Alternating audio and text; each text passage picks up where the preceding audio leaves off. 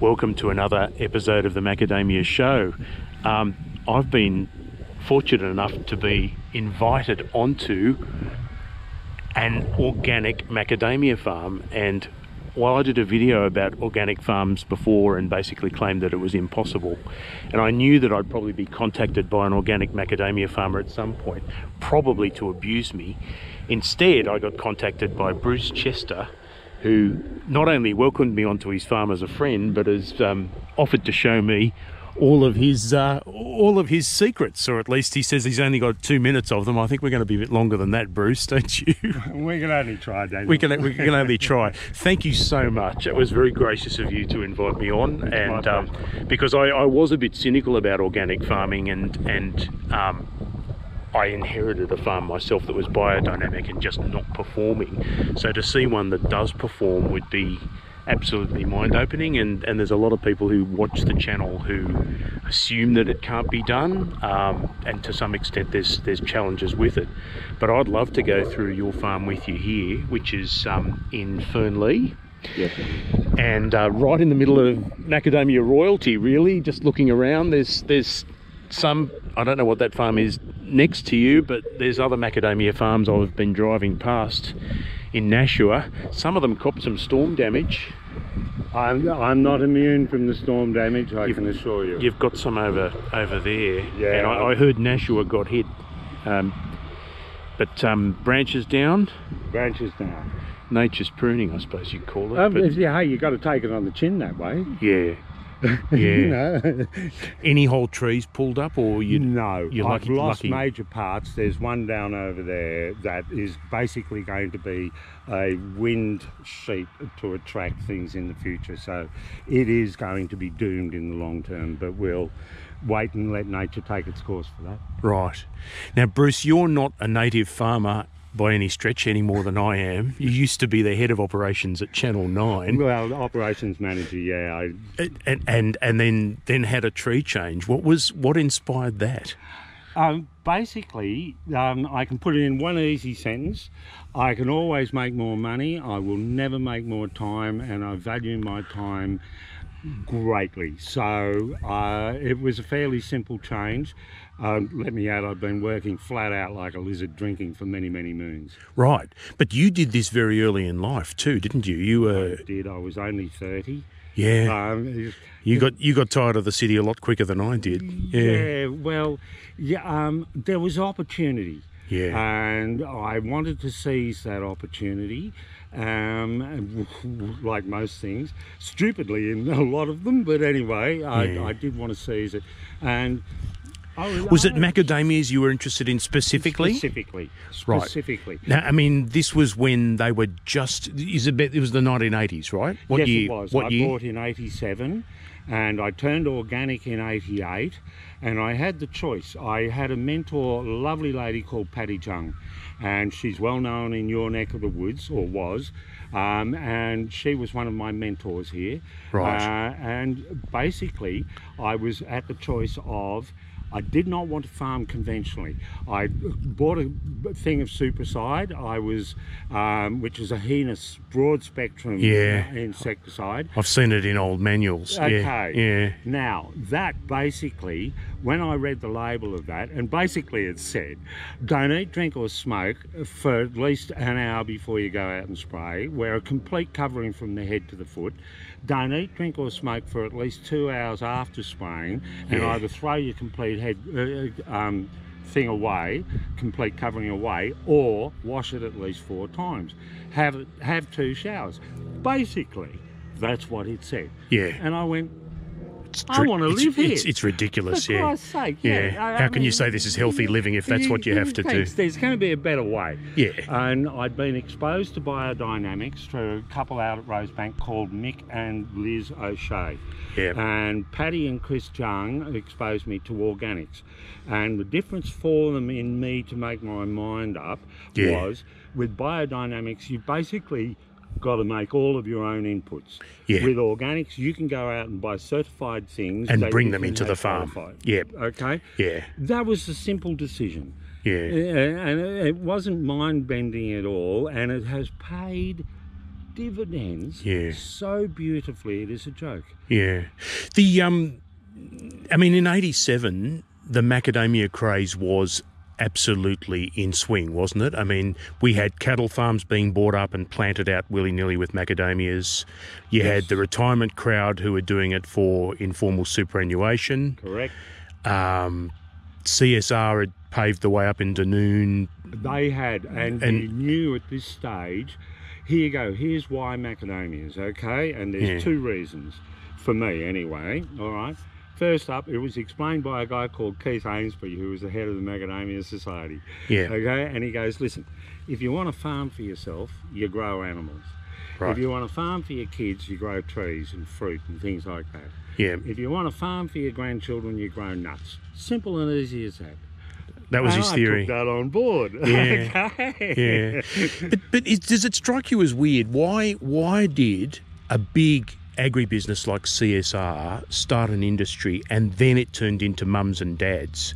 Normally it's the other way around, isn't it? Normally the big agribusiness comes in and takes over little farms. Go the history of the macadamia for a second. Yep. You have this beautiful Bauple nut if you're in Yeah, Queensland. yeah, that was the- that was the- that was the. Aboriginal- that was the Aboriginal word for names it. have we got? Bauple nut, Mount So, Bauple. Yeah. Okay, yeah. Yeah. So um, you get a fellow called Robert McAdam who goes over the University of Hawaii with a few strains of all of this, Yeah. and he genetically crafts a commercial crop out of this Australian bush food. Okay. Yeah. Now that commercial crop had to be reasonably homogeneous in size so that machinery can operate it. Yep. It had to have a thinner shell than some of those thick and Bauple nut ones, okay? Yeah. And it also had to have a certain sweetness of flavour.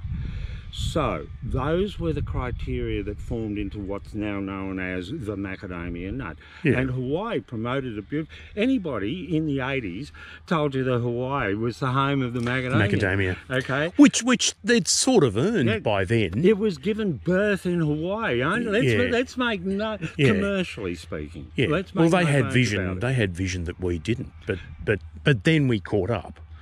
And and the eighties was seems to me the decade when it exploded in the northern rivers. It did. Yeah. And and so you came in. You did you plant these? No, Did- right. they were three to four years old when I came through, Right. or when I purchased, and they were pretty sick. There'd been cows roaming in the shop and everything like that. right. Um, I was also double. Um, these are 12 metres by 6 metres, okay? My Okay. rows being 12 metres. Yep. They were originally all planted 6 metres by 6 metres from about the next row down. And So did you like remove some? Oh, You've we took them out, yeah. We Right. took them out, chipped them up, and spread the stuff underneath. So twelve by six. It's interesting because you, you you must have pruned surely.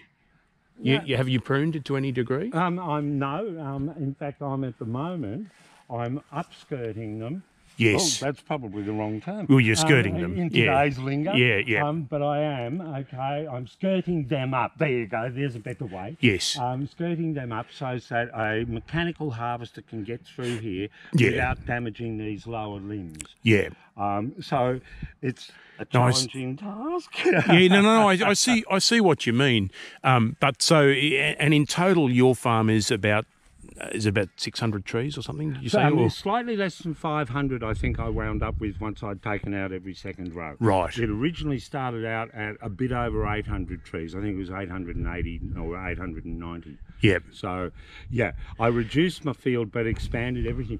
Because when you look at it, okay, if this baby this size Oh, is yeah. feeding an area underneath it, it requires three things. It requires Yeah. the food that we talk about with nitrogen, potassium, phosphorus, etc Yeah. the water that's required, and the light And the sunlight. I was going to say. is required. Right, given given any number of square meters, you've only got so much sunlight, and how many trees you spread it over. Thank you. I mean, And the obvious way. so, so long as the tree will bear a crop that is commensurate with that, you have have fewer trees. Yeah. well, yeah. obviously, and they always surrounded everything with windbreaks. Yes. And you could see the windbreaks, apart from being usually a rat highway into your trees. Yeah. Um, quite apart from that, they would shield your light and take the food and water.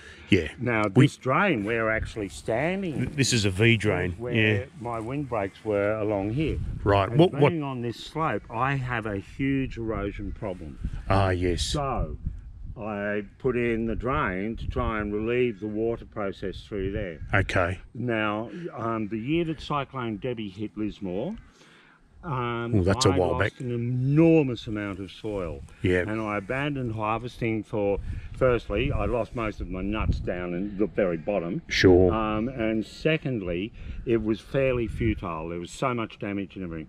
But the soil replacement became imperative.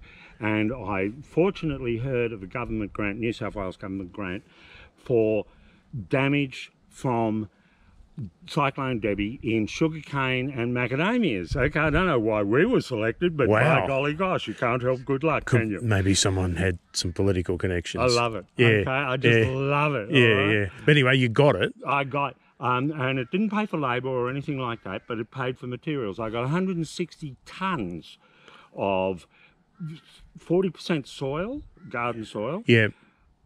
50% macadamia mulch soil mix. Husk and stuff. Yeah. Um, yeah, and it was a special blend from down at Go Grow at Ballina um, that they put together, and they called it their macadamia mix.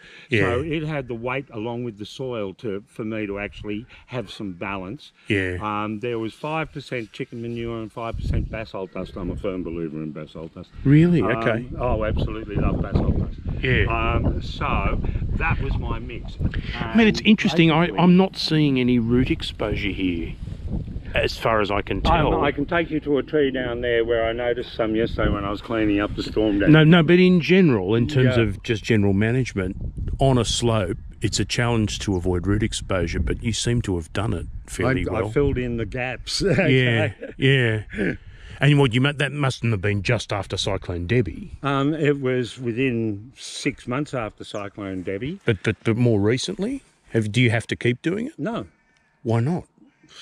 I haven't because found the, the ground yet. ground My- cover keeps it there now. mowing practices through summer, particularly. Yeah, Okay, like when you don't care for your for your, I like to call it the deck. Right. Okay. right. So Yeah, well, you- it is. It is really. Yeah, Yeah. yeah. So basically, look at all the leaf fall, which is only going to clog up the harvester.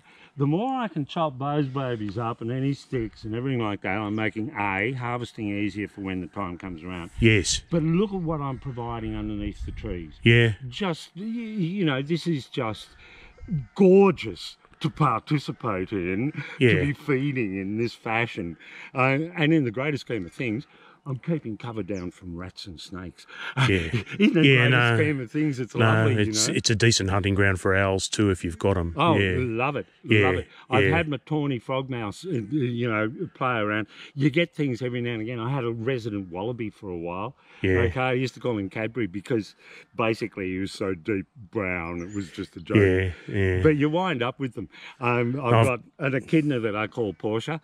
We won't explain the difference um, about why she's called Portia. Oh, don't worry. No, no, no, no. That's that's all fine. That's all fine. But so tell me, look, what what variety trees are these? Have you ever found? predominantly 344s. Right. There's 508s, there's H2s, and the trees like this one, Yep. okay, is a 246. Right. All right. I can I can tell this was a spreading variety of some kind because it, it doesn't have a dominant central leader and so that kind of that kind of does make sense. But yeah, the 508s were a big variety in Hawaii and um, they're still around in the northern rivers. I think they were only planted in the northern rivers They and they did okay. Yeah. Yeah. So so hang on, 344, 508, H some H and a couple of H2s. a couple of H2s. Okay. Now, from, I guess we'll have to get into the organic farmer's perspective on pests in particular. Certainly. But but let's start with feeding. Um, compared to a conventional farmer, how do you feed and when do you feed? Okay. Yeah. I feed uh, religiously. Okay. Right. Out of these 500 trees, We can I go get- for a walk in the shade if you like. Yeah, Get you out of the sun, you then. get you out of the sun, you poor thing. Yeah. and probably the glare in the camera. Yeah. Um, but basically, I get you- um, the 25 meters square meters in a load Yeah. on a truck. Of what? I get of chicken manure. Of chalk, yeah. Okay, and Yeah. I get two loads of that for these trees only. Okay. Okay, every three to four years, I will get um, 14 to 15 ton, depends on what trucks take. Okay, Yeah, yeah. of basalt dust, which is about a 19 mil chip, and that gets spread over the whole of the place. And the what's it, what's it rich in? The the Phosphate. basalt dust is actually it's remineralizing my soils. Yeah. Um, they're your first to leach out. uh, Okay. Yeah, no, that's true. But but which minerals are you looking for in particular? Um, Is it I think they're all contained in either basalt or granite. Uh, uh, Yeah. Anything that you want is in those I two. suspect there's rock phosphates in it. rocks. Yeah. Yeah, yeah. Okay. But, but um, boron must be something. boron is here you go. Here's where the magical mystery tour lies. Yeah. direct correlation with a boron deficiency and when you eradicate it. Yeah. There is organic boron. Organibor, yeah. Yes, there is. Okay. You, do you use that? or- Yes, once every three to five years, as my soil tests tell me. Right. I generally run in with a pH that's between six and six point five. Those are my Parameters. okay? Yep. and it's pretty specifically solid there. Yeah. So because I'm not adding um, acidic fertilizers, okay, I Yeah. don't have to then counteract with lime.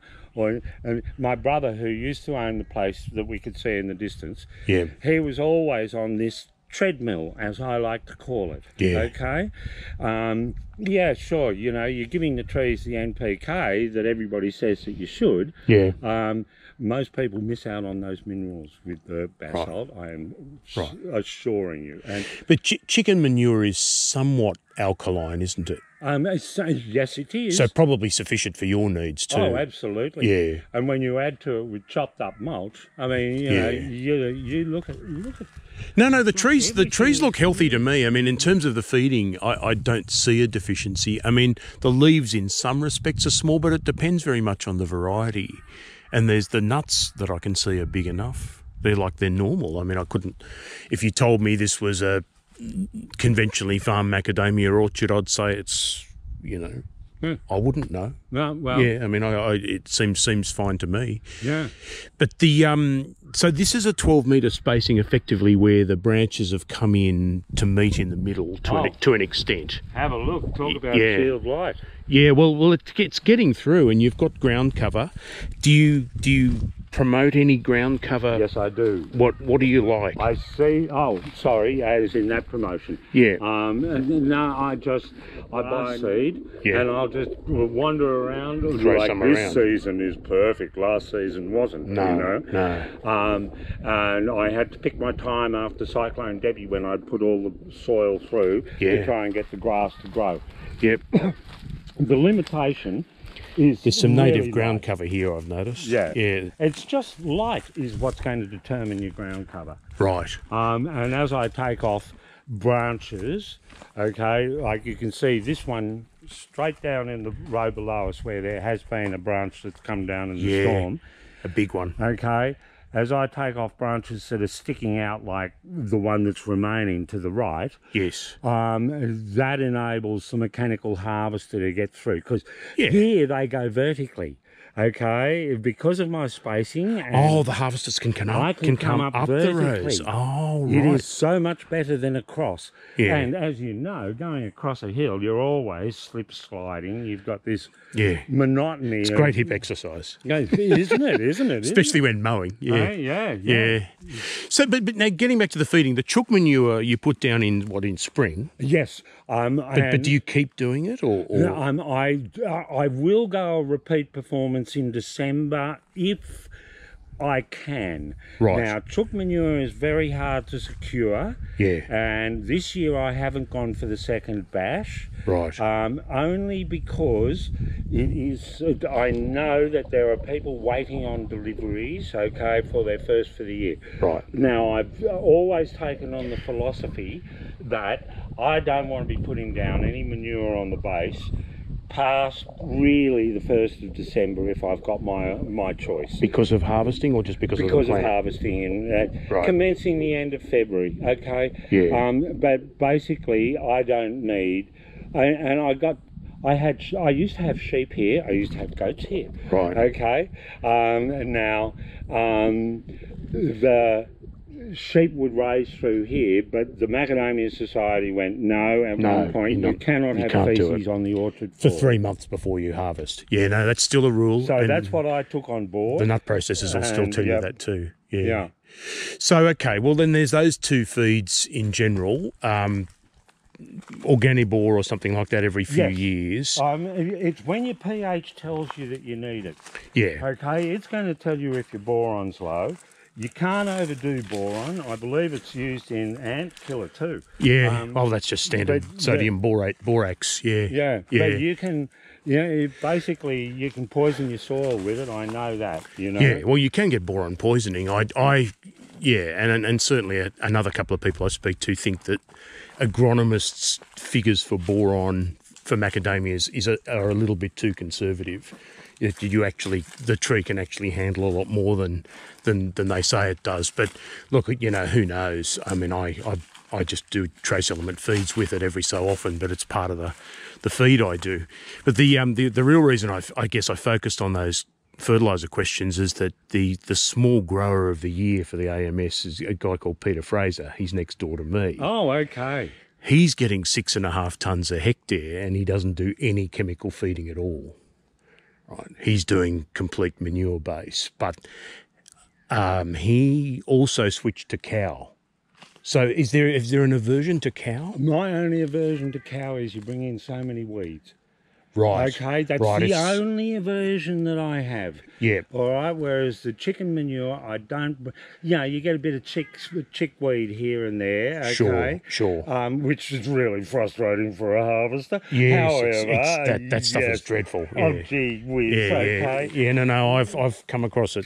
Gets in the finger wheels and gunks it up, and just has this natural ability to do that. Yeah. yeah. But no, that's the only aversion I have to um, cow manure. But it's it's, yeah, I, hey, if I, if I can't get chicken manure one year, I'm telling you, I wouldn't hold back on the cow manure. You wouldn't, yeah. Oh no! Yeah. Look, have a look. Is at chicken place, getting man. harder to get, or is it, or is it because where where did it come from? It didn't come from battery hens, did it? I wouldn't be at all surprised. I think Yeah. it's a case of supply trying to keep up with demand. Yes. And you get it from wherever you can. Everybody's going through this with Christmas coming and Yeah. the supply distribution problems. Yeah. Yeah, Fact of life, okay? No, I can tell you, you know, I've got eco growth, which is, you know, relatively relatively rock based and that sort of stuff, but their supply problems are massive and I still haven't got my October feed.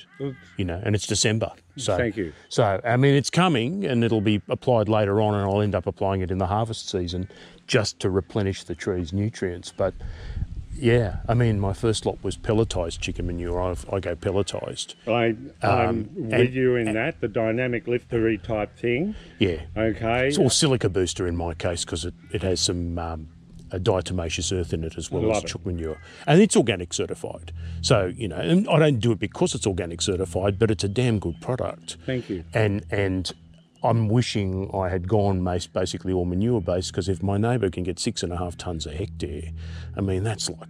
he's South, it's like he's South African or something. Here, here you go. Here you go. Okay. So, if yeah. you want to pull some some logic into it, and I, I have the same right as every other human on earth, Yeah. and that is the right to be wrong. Yeah. Okay. Yep. All you and right? me. You and me both. So Yep. if you give it that, if you look at the macadamia as the way I understand it, it, it occurs in nature. It grows on the southern side of a rainforest, Yep. happily in nature. And it's a second story tree. It precisely. Yeah. Thank you. Yeah. So it loves mulch. It absolutely It loves adores litter. mulch. Yeah. Okay. And it makes plenty itself. Uh, Thank you. Yeah, all right. yeah, yeah. Now, um, basically, if you're going to sit there and go, okay, well, let me put, gee whiz, let's call it um, ammonium nitrate or something like that, Yeah. so that I can get some nitrogen. Okay, we've we've introduced something that really isn't naturally in the tree's diet, Yeah. and it does have a lingering effect in the soil. Namely, at the very least, it is going to acidify your pH. over time. Yeah. Okay, And this soil is naturally acid anyway, so it doesn't really need the help. it doesn't. Yeah. And there's a lot of soils. I mean, you you you run into when you're trying to correct your acidification, you've Yeah. got a choice of either lime or dolomite in most instances, Yeah. and that only comes down to whether it is it aluminium or magnesium deficiency. Magnesium, yeah, for dolomite. okay. We should keep walking, but Please. but the um yeah, so that's well, that's a okay. Well, it's a decent nutrient profile that you that you offer, and there's it seems like what two, hopefully two big feeds a year, and it's slow release, so of course it then keeps releasing through the season. Thank you. I guess you know now comes the difficult part of the discussion, which is which is pests. Now, um, there's another video involving you, and I'll put a link to it in the show description, where I think you said that you spray for lace bug, which is I guess the first pest that shows up in the year. Okay. Do you, is is that Spraying is uh, is th- th- I don't actually spray for any particular bug at all. The only spray that gets used, and this is only in the last two years, Yep. is for our dreaded weevil. Okay. And as we've said, it's not even a killer spray; it's an infertile spray. yeah? Okay. But that's you're talking about indoxacarb, which is yeah. which is the which is the spray that makes the bug. Well, it stops it breeding. Yes. It's this. It, in fact, it's the same ingredient you get in Mortein cockroach baits. It's the same. It's the same Oh. one in ha- household cockroach baits. You just Oh. look at that. Look at a packet. Doesn't that make sense? When you're next in Woolies, yeah, have a look. I mean, it's obviously encased in a plastic case, but it's used in people's households. But it's not organic, is it? no, no, no, no. no. No, So- it's so not. so to an It's extent- actually a biological spray. Yeah. is the way it was described to me. Yeah, it is. It, Now- it is bioactive and it doesn't kill non-target pests. Correct. fact, it doesn't kill anything other than just the weevil because it's specific. Yeah, But- but, any spraying I have yeah. done in the past, Yeah. okay, yeah. um, is with garlic oil, Yep. um, predominantly garlic oil. I have used chili and coffee, okay, and on the citrus. But they don't kill the weevil. no, no, Because the, the weevils are nasty. The weevil's actually going to operate, and that's what you've got to try and stop. Yeah. Okay, and there's no pre- predator. I'm going to tell you this is an observation only, Daniel. Yeah, Okay, yeah. please. I'm not scientific. No, no, no, that's the fine. theory of Bruce Chester. It's like a repeat of a Monty Python. The Okay. theory of Anne Elk. You know? yeah, yeah, yeah. However, I, I don't promote any sprays or anything like that, but endosulfan met its demise a few years ago. Well, that's DDT. Uh, Prior to endosulfan meeting its demise, Yeah. okay, Yeah, there was no Sigastus weevil. yeah. Now, whether there is a relationship in something that was controlling it in nature, or whether it's something that has evolved because of that non-use of something, is a whole different tale, and I don't go there. But it really hit the industry hard Oh, in the space of about three years, didn't Oof, it? exactly right. Just, just before I came onto the scene, I mean, indoxacarb in my first season, which was 2019, that was this new thing. Yeah, It only had a temporary permit. thank you. I think it's still only a temporary permit. I wouldn't be at all It- it- surprised. it- it's um, so it, and it works. We found out that it absolutely works. I Um, can tell you in yield yeah. that it works. So yeah, you you were mentioning um, you had a bad yield the year before this. Yeah, the year that that video was taken of me, the the year that year, which was 2019, I only got to harvest about 200 kilos of nuts, not quite even. which which is crop year, failure. Which is absolutely it's crop failure. I mean, disaster. you, in terms of what you spent, Yeah. it's a dead and loss. yeah. everybody around me was using your indoxacarb. Yeah. Okay, and they're tickety boo. right. um, so the so- next year you did use it. Oh, I did. Yeah. I did. And um, that's it. I won't allow any other pesticide to be mixed in with it, as most farms will. Yeah. That I don't. Okay. If yeah, I'm, I'm guilty. I, a- I mixed it, but yeah, Yeah. yeah, Well, you see, my spray regimes, okay, and yes, there have been, but they're not poison chemicals. I spray liquid fertilizer. Okay, mainly it's seaweed derivatives. Sure. Um, through here, um, I haven't for a few years, but basically, in the drier years when it's harder for the soil for the nutrients to come into the tree from the soil, in theory, Yeah. I'll give them some additions with the with the trees.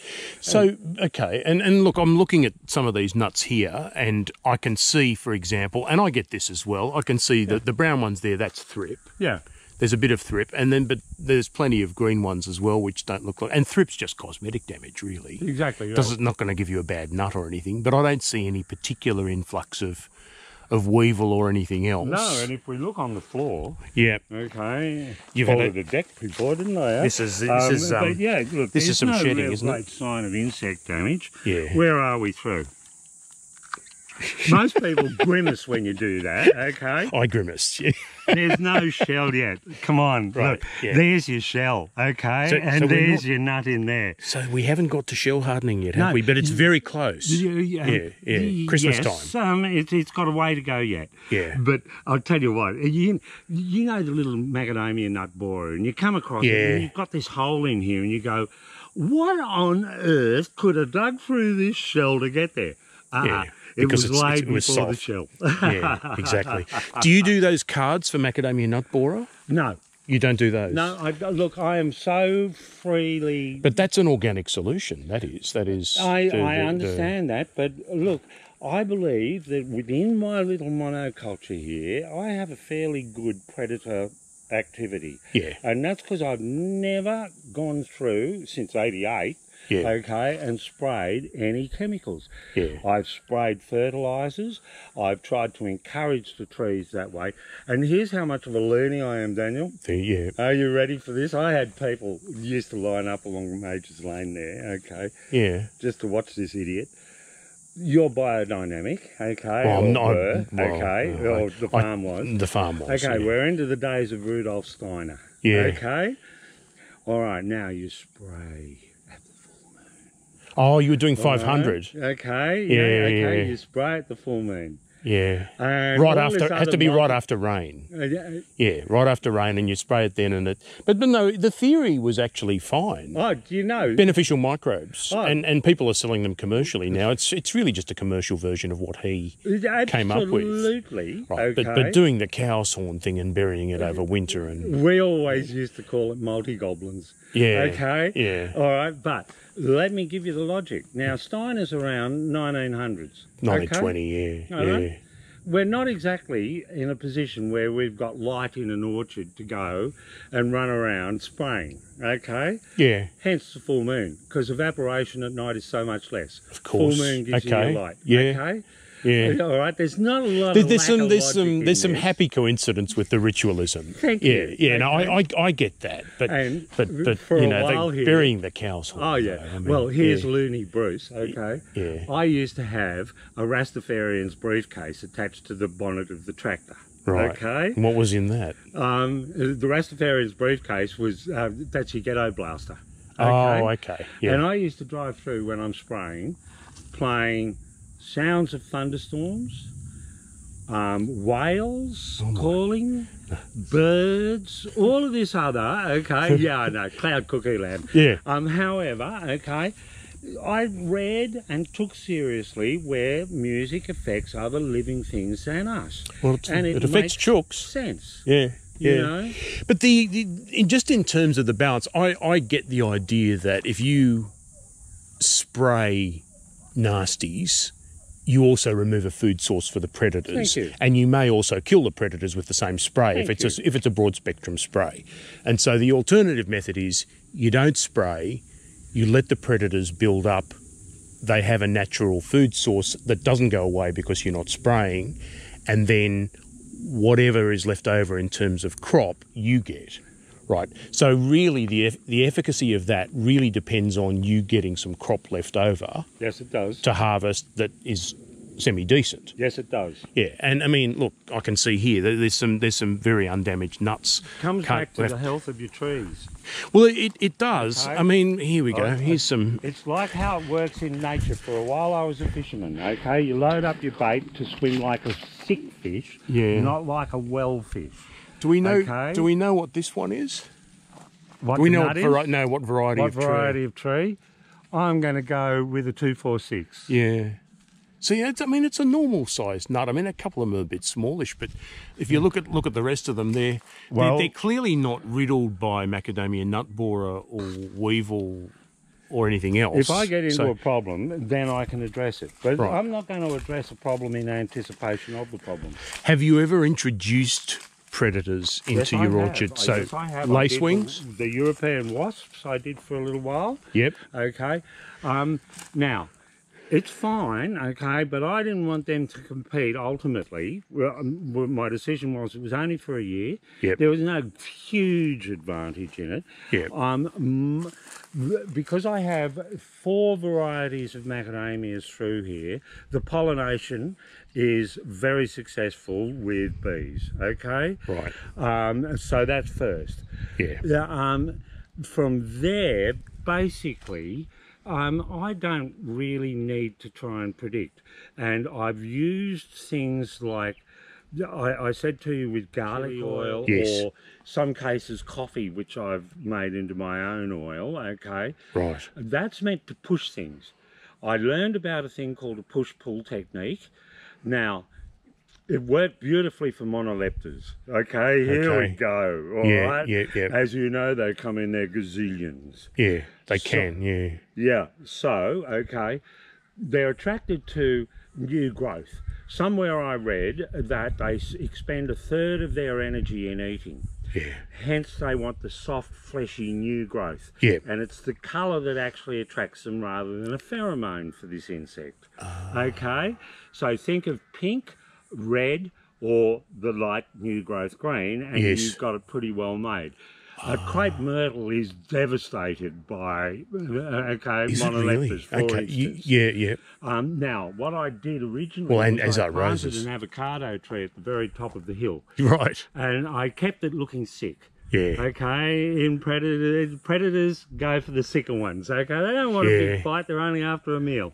So, okay, People do this as trap crops. They call it a trap crop. okay. Yeah. Now I could identify with that pretty well what was going on in attracting uh, in particular. Right. And monoleptas will only really hurt a macadamia in flowering time. That's Yeah. it. Yeah. Okay. But the lace, I mean, the other big problem with flowering is lace bugs. Surely you get that. I have had on occasions. I've tolerated it for probably a ridiculous point in some instances. Yeah. However, um, basically, it has never presented as a enormous crop damaging problem the way the Sigastus weevil did. All right. So getting back to that, the year before, when you only got, say, 100 and something kilos of Yep. nuts, The The- following year after my spray, what was your yield? um, 7.8, uh, 7.892 kilos at 10% moisture. You mean tons, hopefully. Tons. Yeah. Sorry. Yeah. tons, I mean. But that's out of this number of trees. That's extraordinary, really. Yeah. Yeah. I mean, that's And that's, you're talking that's about your mate next door. yeah, well, well, my, but yeah, look, look, my mate next door. The other half of the story is why he feeds very organically and he doesn't use any chemical fertilizers. He's very hard on chemicals. Right. He he, he still does diazinon, although you know that's that's about to a Yeah. particular avenue of pleasure is about to be cut off. Well, um, but but that which in February I think this this February 22, and it's been banned elsewhere in the world. We're a bit slow to ban that We product. are. Um, but that's um, yeah, that's look, that's a combination that works for him. He gets on top of the pests, and he's done a lot of regenerative farming that does a lot to the soil. He brings in a lot of organic matter, uh, wood chip, that sort of stuff. Right. Um, but you know, there's there's limits to what you can do, and you know, you looking ahead to the future of the industry. I, I wonder for how long we really can bring in large amounts of hardwood chip to put on our orchard floors. I, I, mean, don't know that it's a sustainable thing at all. I'm not sure it's a sustainable practice, but but if if not that, then what do we do? Do we cut down camphor laurels and do that, or or we? well, I'm I'm led to believe that the camphor oils don't do the soil any favours. Yeah, I, I'm- worry about it too. I'm led to believe that. Yeah. Um, however, I got to tell you, okay, you drive along where they put in a new expressway or something, you see all these beautiful trees that go through a mincer. Yep. Okay, and you go, listen, with camphor laurels, for God's sake, the Chinese used to make chests for clothing out of them because insects won't go near the place. Yeah. I mean, uh, can we not come up with some better uses than economic justification? Yeah. You know, Well, I mean, the the crowd I got in to cut down. Well, they, they were going to cut down camphors in my orchard, but there there weren't enough big ones. They only they only want the really big ones. yes.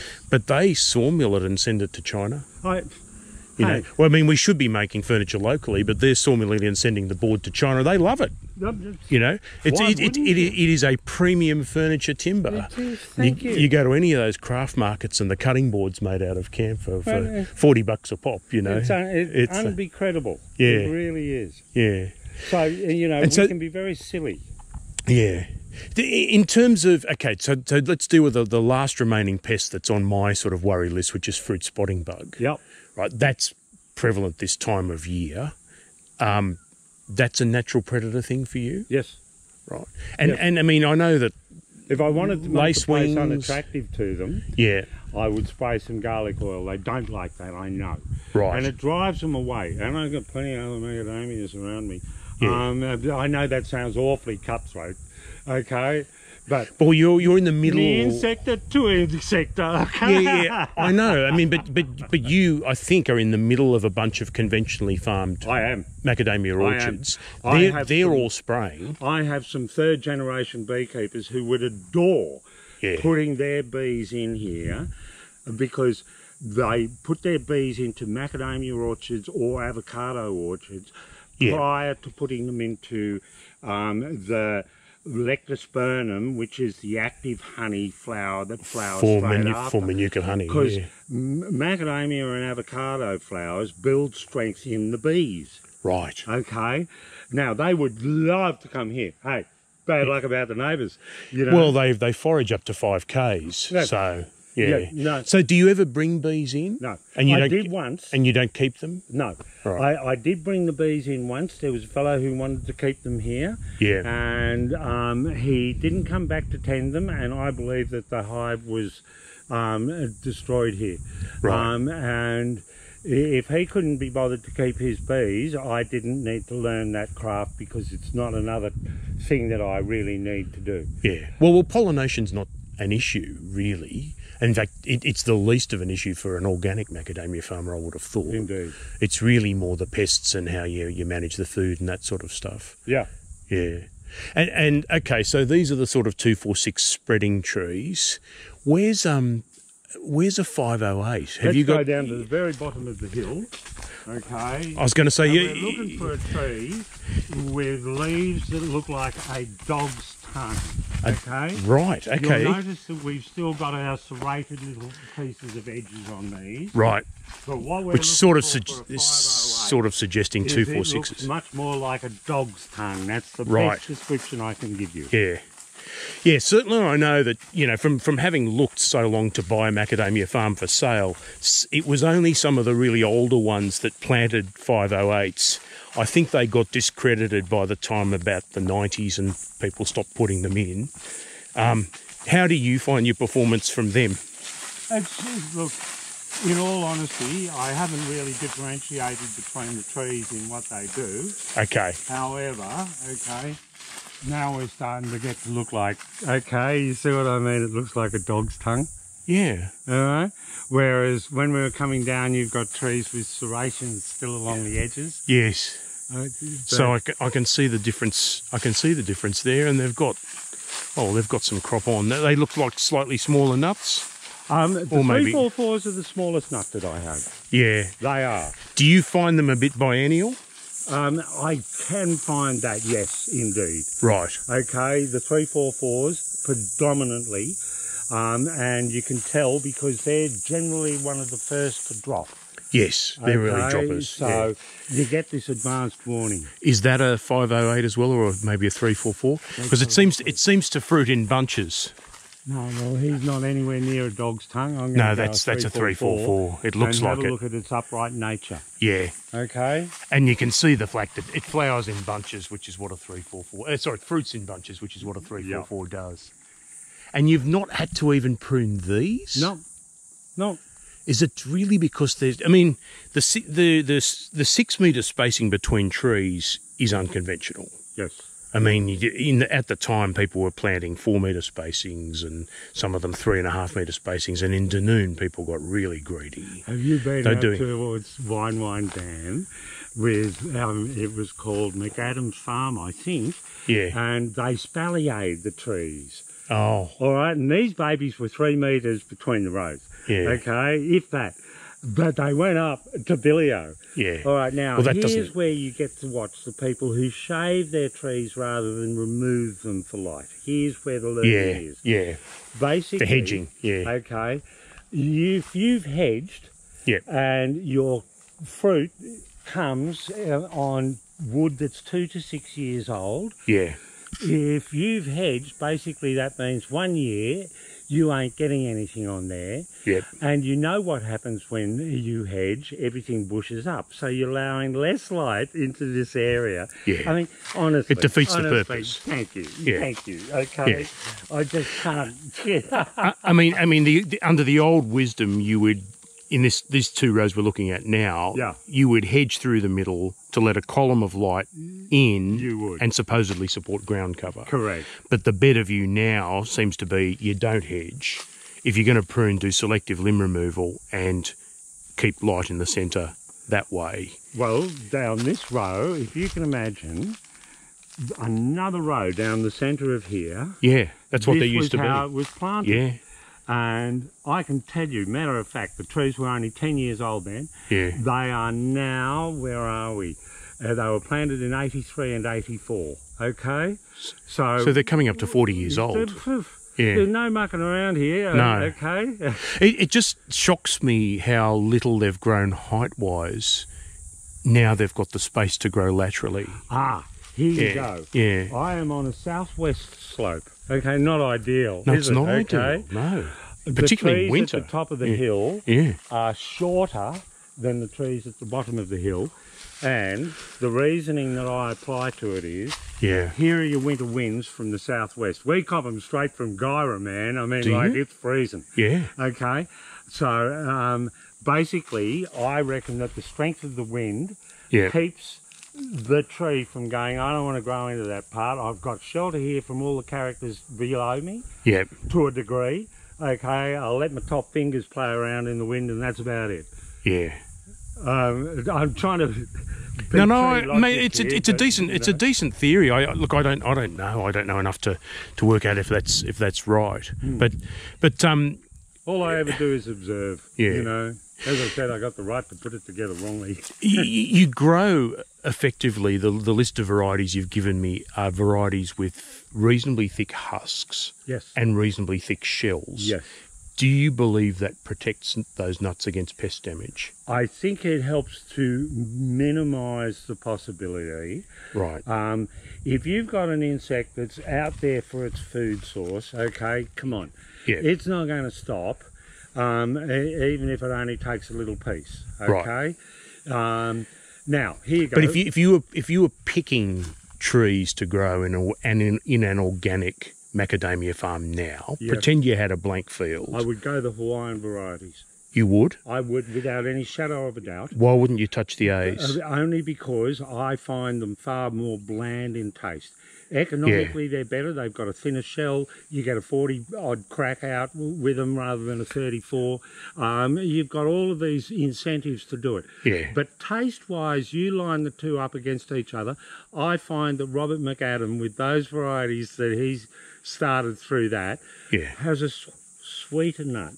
No, no. I, I look. I agree with you in the sense. I've tasted them and I can tell some taste difference between them. The A16s are a little bit on the bland side for me. Right. And the A4s, they're nice big nuts.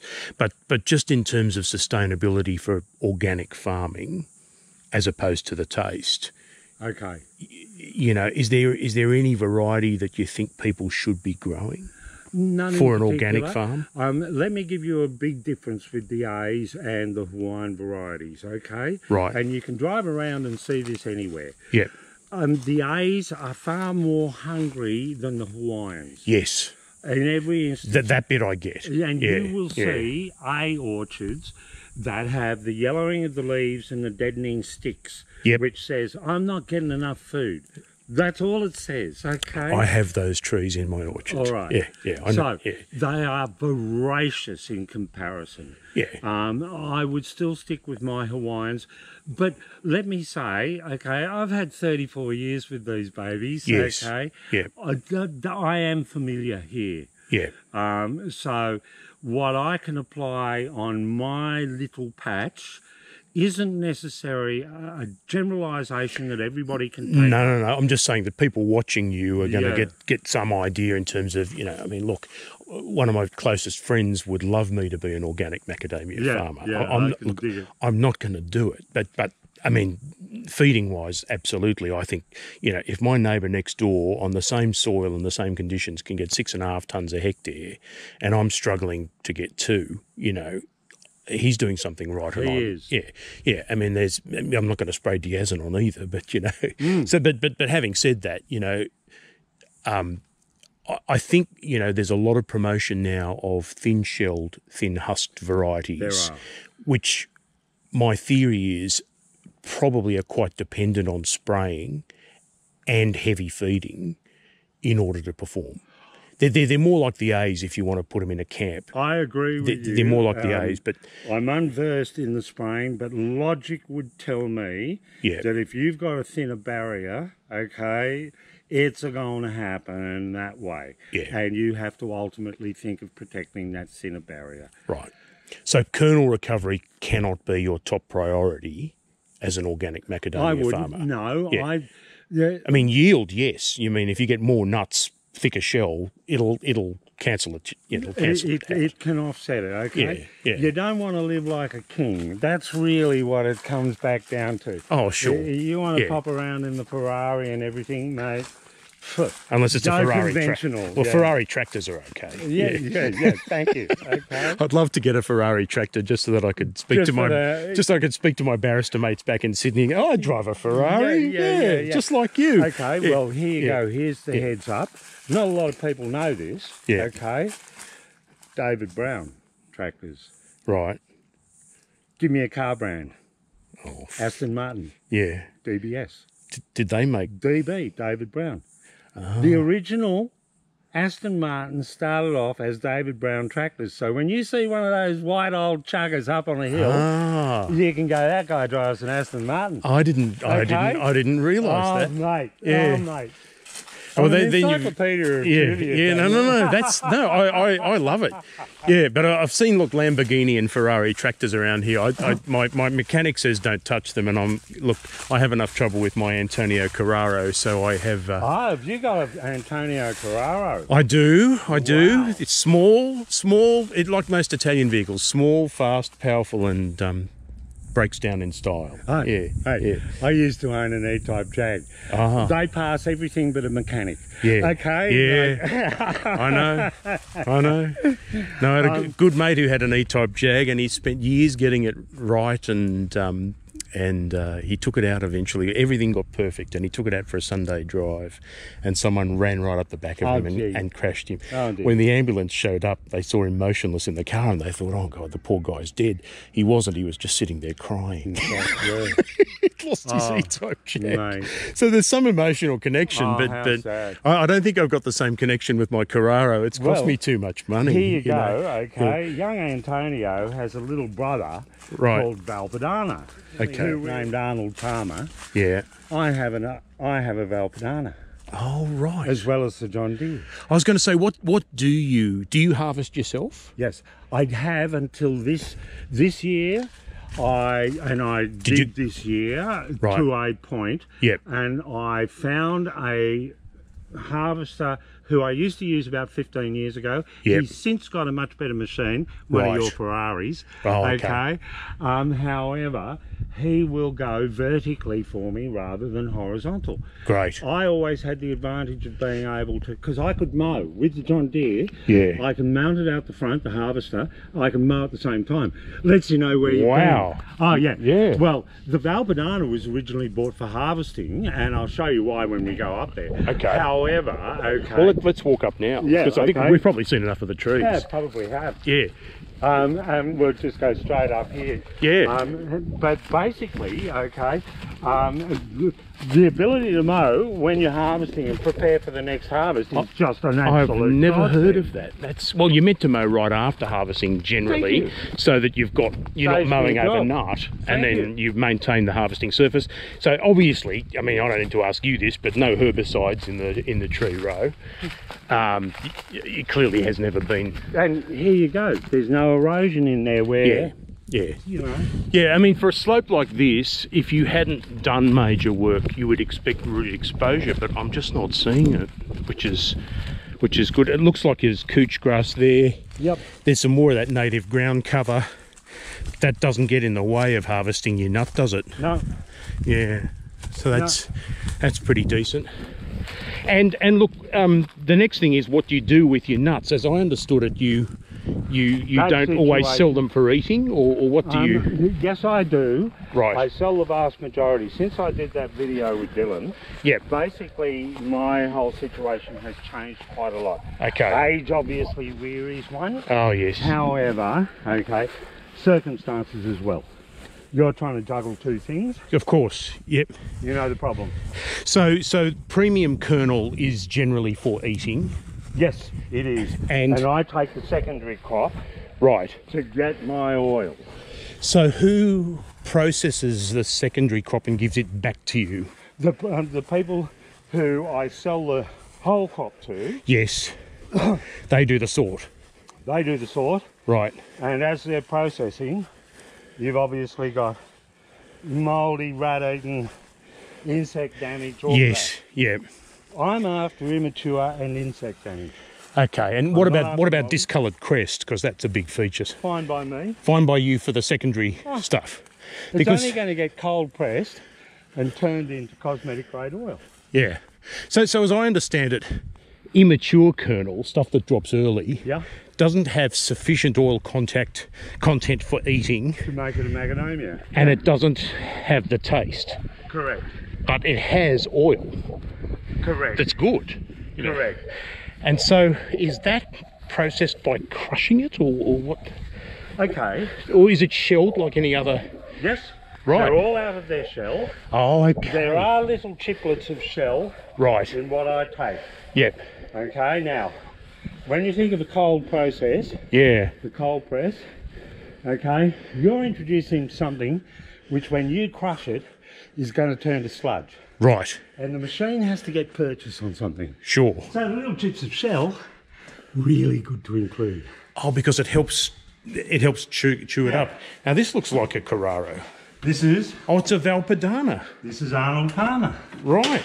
Okay, Oh, and that's And like the like Carraro. It's reversible. Yeah. okay. The Italians love that. Yeah. Yeah. So there's the out front mower. Clearly, the Mach- Um, Maschio. Well, out here, yeah, and it would go out there.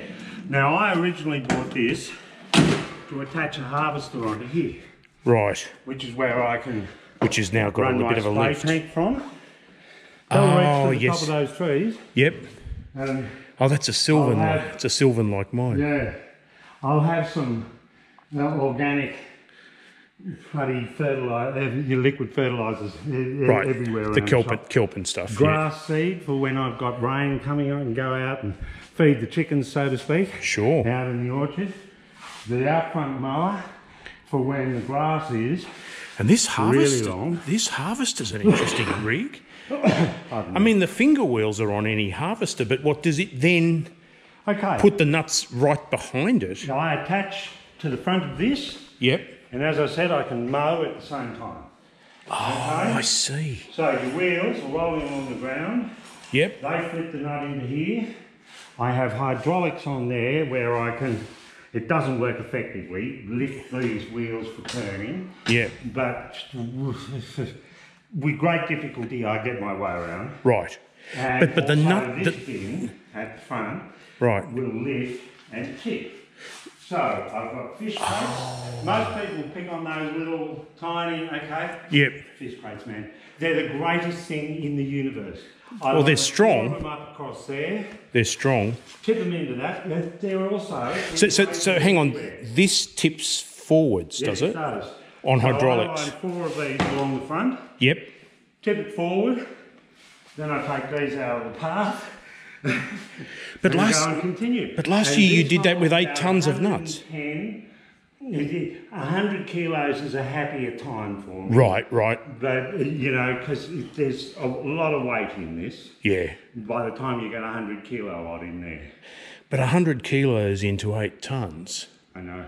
You did this 800 times. Well, on top of that, okay, Yeah. To pick these up, put them beside a tree, drive off, do some more, fill all of these, Right. put them in the back of the trailer, bring them up here, then try and sort the leaf and the shite out of it. Well, that's Okay. that's your fitness regime looked after, isn't it? I Thank mean, you, yeah. yeah, yeah. All I mean, that's Um, so from there, okay, I've actually lifted, and these are about 35 kilo when they're sure when they're up to about there, okay? Right. Um, now I've lifted them once to the tree, second time onto the trailer, third time off the trailer, and eventually took them in the half-ton field bins, which I bring in there out in what was the goat shed. Okay, so that probably answers my other question, which is how do they pick it up from you? Yeah. And, They- and that, that's the field bins. They've got forklifts. I just, I've Yeah. got the fork um, driver. Yeah. I just wheel them out onto the patio here, and they come and pick them up.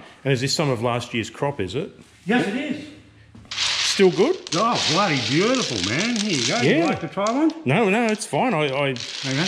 But I, you um, were saying before with taste, all right? And I said it in that video. and look, even my agronomist says the same thing. He says the H2 is one of the best tasting macadamias you can eat. It is a and, and it's a rootstock. You know, Yeah, I mean, well, know. for, for most people, it's a rootstock. Yeah, well, it is, yeah. Yeah, They either called it D4, uh, which was your bushnut rootstock, or H2. H2, yeah. And- did, did you? Um, it does stick tight a bit, doesn't it? H2. Yes, it does. Yes, yeah. it does. So how how much of the crop eventually does come down, or is it just hanging the tree? Oh no, no, no! Vast majority. You just get the odd nut. Like say you've got a raceme with two or three nuts on it, okay, and covering the tree. Yeah. You'll find that the vast majority of them will drop their nut. Yeah. Okay, and you might wind up with one out of the two or three Okay. that hasn't on every few racemes. Well, a, a third. Yeah, I mean a third is a fair few nuts, but Yeah. but um, it's not a third overall, I can assure you. I mean the concerns with stick tight are one, you don't get crop, um, and two, it harbours fungus spores. Absolutely. How are you going with fungus? I should have asked I that. have never had a major problem. Because Um, H H two and two out of the ones you've given me, H two and two four six would be the most fungus susceptible. I hear five oh nine was all right. 508. Five oh eight, sorry, is all right, and three four four is well, three four four is fairly resistant. Yeah, bloody resistant. It's Yeah, a to- resilient to- little tree. yeah. um, Okay, well, I've got to tell you, I don't really have a lot of problem with fungus. A, I've got a lot of airflow through the shop. yeah, That makes a huge difference, and it really does. Secondly, okay, Yeah. with I, what's that? Um, what's the wine that's made with the fungus? on it? Botrytis. Thank you. Yeah, uh, well- I've, I've had a little bit of botrytis in times. That's on the flower though. Yeah, Yeah. that's it. Yeah, but everyone gets that. Yeah, you can't spray for that. There's there's no chemical spray for that. No. Yeah, but but I know that organic farmers are allowed to spray copper hydroxide Yeah, copper oxychloride. or copper oxy. Is it and right? also Bordeaux, but you make your own Bordeaux. right? But Okay. but you've never had to. You've not had to do that. If I really, really, really wanted a yearly mango crop, I would do it on the mangoes. Yeah. That's about it, okay? But otherwise, um, and you know, as you and I agree, when them mangoes were on, it's mango boot camp. Yeah. We don't both know that. Yeah. No, my my very first year at Nutkin Farm, I got. I think we ended up losing about three or four hundred mangoes simply because the relatives got sick of taking home boxes of them in the car. And I thought, if I'm going to get this every year, I better find out something to do with them. Because the next two years I've had it zip, you know. so Yeah. you- Well- but if it rains, they're really like a, an extreme version of macadamias. If it rains badly during flowering, you just don't get a crop. It's not going to happen. with yeah. mangoes, yeah. So basically, that's really my macadamias in there and stuff. So it goes from the top of that block, obviously, where the of road hill, is. and I where the down to- grass is up there. yeah. I've actually got some of a little bit, probably half a ton maybe of chicken manure, Yeah. and probably a good ton's worth of basalt dust up the top. and I'll come. I'll show you what the basalt dust does. Okay, Sure, well, the yeah. size that I get it in. Yeah. All right, because yeah, and here's a test for Hand you. spread. anytime. Is it hand spread or? Yeah. Yeah. Um, oh no. Well, um, Third Spread come through. They might change their name since then again. Um, and they do it all. They've got I GPS. third spread. I think they're different to best spread. Best spread is what they're called now. Best spread, okay? yeah, best spread's who I use. Yeah. Best spread is, is who everyone uses, but they're backed up to hell at the Thank moment. Thank you. Yeah. Same thing as trying to get chook manure. Yeah. Okay, Kingsborough are the only ones who deliver it. Um, The, the the fertilizer crisis is absolutely real. oh, But I've, truly I've done. I've done some video commentary on that. But um, you know, some of these chemicals that we have to get from Normally, China. There's your aggregate that goes into roads. Right. Okay. Yeah, it's road Now- base. Oh well, Here's the size basalt dust that I use. Okay. Here's two purposes. One, I use it to remineralise. But two, this size chip works Fabulous- its way through the ground. too, yeah. Thank you. It Yeah. helps to decompact your soil. yeah. I mean, okay, it's just absolutely delicious. Yeah. And I'm going to tell you, you I'm- put it through your veggie garden Yeah. and tell me if your crops do not have a richer taste after you've had basalt dust in your veggie garden. Just I'm just trying to work out what it's rich in. I'll have to go back and do my homework on that because I've I just not heard of farms doing that as a um, as a nutrition measure. Yeah, and Yeah. I call it mineralising. Yeah. Okay, everybody fertilises, great. You know, we're all onto that doctrine. But Well, this no, one, yeah. geez, this is the babies that aren't Yeah. in your fertilisers. But, but even Eco Growth are on your wavelength in that they say that the minerals in their fertilizers are from rock minerals, right? So they're not they're not doing hot, they're not doing chemicals that leach. No. And I've got a very sorry. So yeah, you, um, with this particular dust though, I mean I'm, I do need to go back and do some research on what it contains because I just haven't seen it used as a fertilizer. Okay, and if I can give you where I, firstly, it was the Jungs who put me onto it, Okay. Chris and Paddy. Yeah. But secondly, and most importantly, I actually had witnessed it so many times when I was with Nine Sports and they were covering golf. Ah. And a greenkeeper gave me the clue out at the Australian Golf Club. He goes, mate, you've seen in the paddocks where you've got this really green paddock and they fed it with superphos. Yeah. Okay, superphosphate. So what we do, okay, to really get our green, Hmm. and they get powder. Okay. Um, you can see I've got the chips specifically, but it's powder too. Okay, and they get they get the powder, and they put it on all the greens because it makes all the greens really rich green for the television coverage. Maybe that means it's iron rich. Anyway, we're just speculating. Yeah, yeah, We- yeah, yeah. But that was just an experience that I had in a previous life, Yeah. which came back to resonate. Yeah, well, we use our experiences. I, I was a mad rose gardener. Oh, well, I still am. Oh. Um, back in Sydney, and um, you know, I, I mean, I did my own experiment with the kind of feeding that I used to do, and I used to feed um, granular food Yep. to the roses. And and look, roses are big feeders, so it's a real it's a real good test. If you can feed roses something that is organic that they like, that actually gives them sufficient nutrients, then you know you're onto something good.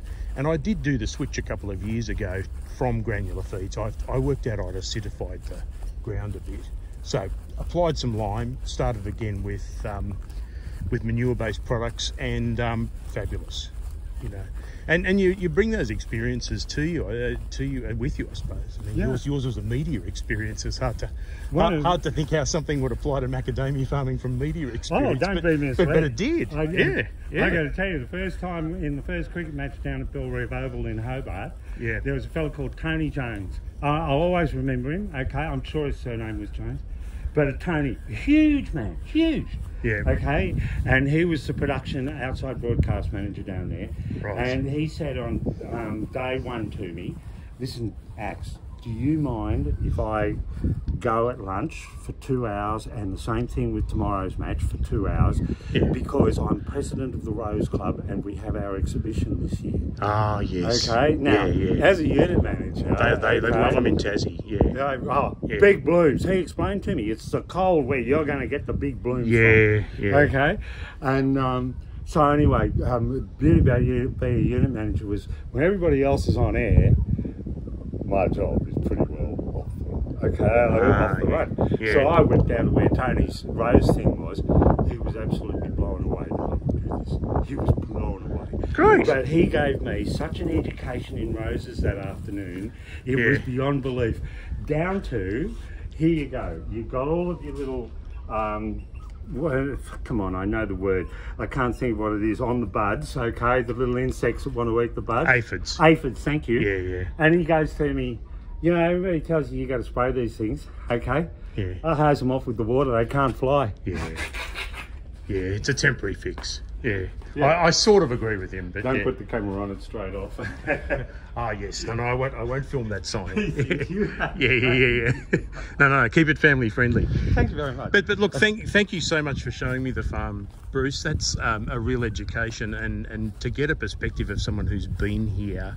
Don't want to, you know, stress anything about your age, but to, for, for someone who's been here this long, through that pioneer period where sort of anything goes, to the modern industry where you know, funnily enough, people are looking backwards to techniques like organic, partly from consumer demand, partly from working out what works, and then to discover that, you know, farmers doing at least organic feeding are getting better results than the ones using chemicals. Um, it's important to capture some of that knowledge and put it out there. So, really so, is. so you've made a contribution, and thank you. Yeah, it was. Well, uh, there's a fellow called Thomas Sowell who they banned from universities in America, I'm led to believe. But he sums it up beautifully, in my opinion. Yep. And that is much of what we've pursued in the last 30 years has to be has been to replace what worked well with what sounds good. yeah. Honestly, Yeah. I can't put it any better than that. Yep. And, okay, I hate with your barrister experience to actually take you to this, Yeah. but can I put it any better way? prosecutors will prosecutors will be trespassed. I have to I have to move closer to the sign, I think, so people can see it. Where'd you get this from? I had it made. Oh, you had it made. Oh, Oh, yeah, you you must betcha. you must have cared. Oh, yes. Were people trespassing on your property? No, no, no, no. I had some prosecutors approach me, Oh, and when people say to me, well, what happens when they're trespassed? My answer is, they're about to find out. Ah, excellent. Bruce, thank you again. It's been lovely visiting you and, and learning your story, and I hope others will share the same as well. You'll see the movie up on YouTube shortly, and no doubt you'll get some comments. I'll look forward to that. Thanks. Good on you, Daniel. Thank you for coming. No, you're welcome.